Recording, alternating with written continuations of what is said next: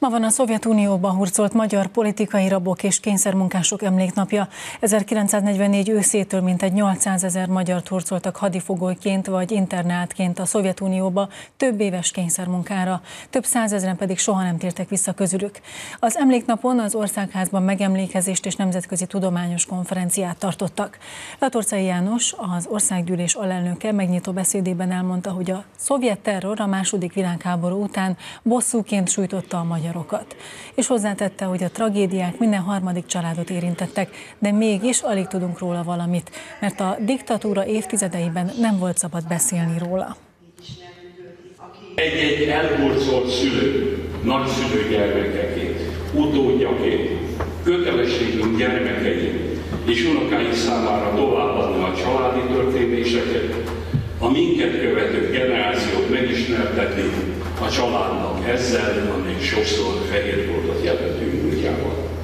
Legalább az emlékezés szintén pótolnunk kell az elveszett éveket, és törekednünk kell arra, hogy ezeket a nem mindennapi tragédiákat és emberutakat ne csak a szűkebb családban, hanem a közoktatás révén nemzeti szinten is megismertethessük a jövő magyarságával, a jövő nemzedékével. A Gulág emléknap kapcsán tegnap a fővárosi Gulág emlékműnél tartottak megemlékezést, amelyen túlélők is részt vettek. Egyikük azt mondta, hogy még most is rettenetes visszagondolni a történtekre. A gulágokban elpusztultak emlékének megörökítésére alapítvány elnöke pedig arról beszélt, hogy nagyon fontos, hogy a mai fiatalok is szembesüljenek a történtekkel. De nem félek. A telet hordom, körülöttem lehűl a lég, s a dolgok rólam madarakként aléltan hullnak szerte szét. Nemes Nagy Ágnes versével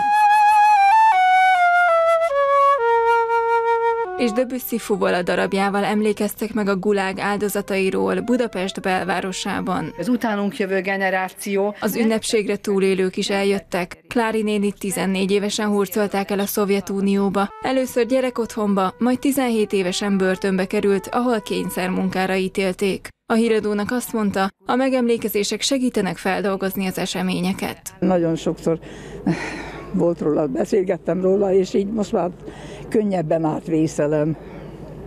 De visszagondolni ilyen távlattól és ilyen messze idő leforgása után is, hát ez rettenetes. Szóval magam is úgy gondolom, hogy hihetetlen mindaz, amit egy ember ilyen körülmények között éveken át túl tudja tenni magát, és, és éli az életet tovább. Szóval egy borzasztó dolog. Nagyon fontos, hogy a mai fiatalok is szembesüljenek a történtekkel, mert minden családban vannak érintettek. Erről a gulágokban elpusztultak emlékének megörökítésére alapítvány elnöke beszélt. A honvédtéri emlékművet 1993-ban állították a szülei. Nagyon szerencsésnek érzem magam, hogy én egy ilyen időt nem éltem meg. Megéltem azt, hogy ugye gyerek voltam abban az időben, amikor a szüleim másodrangú állampolgárok voltak, de én akkor ezt úgymond nem, nem éreztem. Tehát én éltem a magam kis gyerek életét, és, és volt olyan, hogy, hogy, hogy az Alkotmány utca 4-ben a folyosóra kimentem játszani, és nem engedték ki a többi gyereket, mert hogy, mert hogy, én, mert hogy az én szüleim hazaárulók voltak. A kutatások alapján mintegy 700 ezer embert hurcoltak el a gulágokra Magyarországról. 300 ezerre teszik azok számát, akik soha nem jöhettek már haza. Nem tudjuk pontosan hány embert raboltak el, indítottak útnak, kik is voltak az egyes transportokban, nincs arról ismert adat, és vélhetően sosem lesz, hogy a túl, túlzsúfolt vagonokban az éhínség, a szomjúság, a betegségek hány embert öltek meg. A túlélők első csoportja majdnem 10 év munkatábor után 1953. november 25-én térhetett vissza. Ez a nap 2012 óta a Szovjetunióba hurcolt magyar politikai rabok és kényszermunkások emléknapja.